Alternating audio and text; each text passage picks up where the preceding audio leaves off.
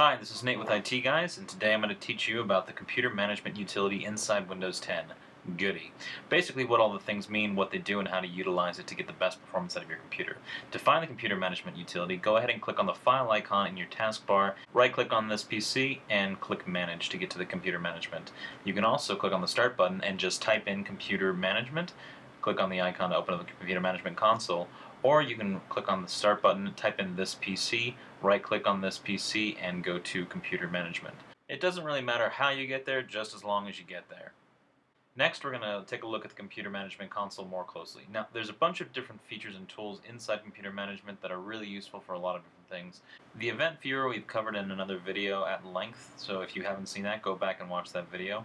It teaches you how to read administrative events, what they all, what, and generally what the things to look out for are. So close that for now. Today we're going to look at the Device Manager, which shows you all of the hardware inside of your computer and whether or not the drivers have been installed. Drivers are the software portion that make the hardware pieces work. And in this list here, if there's something that has a red X or a yellow triangle on it, like this device here, we know that there's a problem with this device. Now, usually when you install Windows, Windows has a bunch of built-in drivers that make a lot of these hardware pieces work. In this case, we can't really use whatever driver is on there. We're going to have to search the hard way.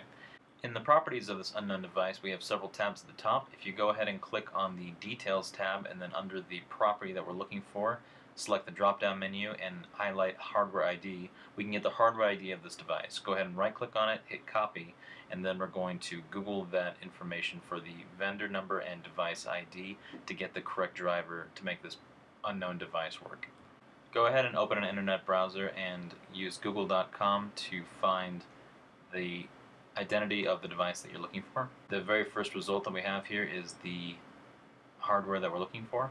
Go ahead and click on the very first result and let's find out what it says.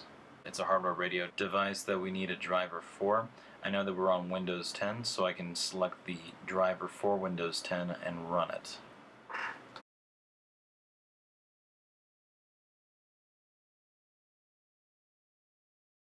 Go ahead and hit next. I accept the agreement. And you just want to basically next, next, next through all these menus.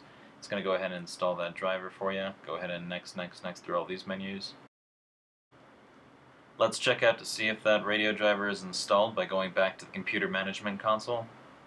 And it is! Yes! Radio driver, whatever that does.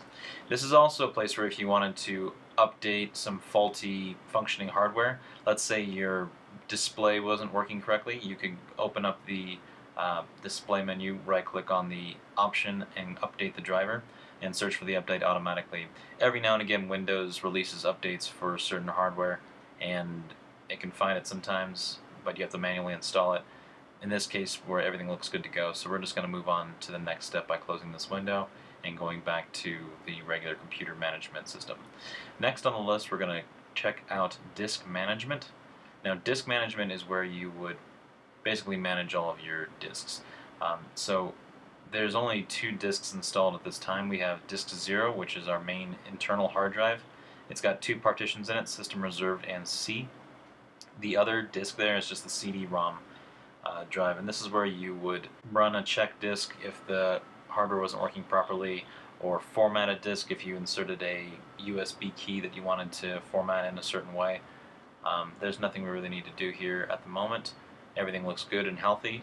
And that's pretty much it. There's not really a whole lot to know with computer management other than those three options, Event Viewer, Disk Management, and Device Manager. Happy computing!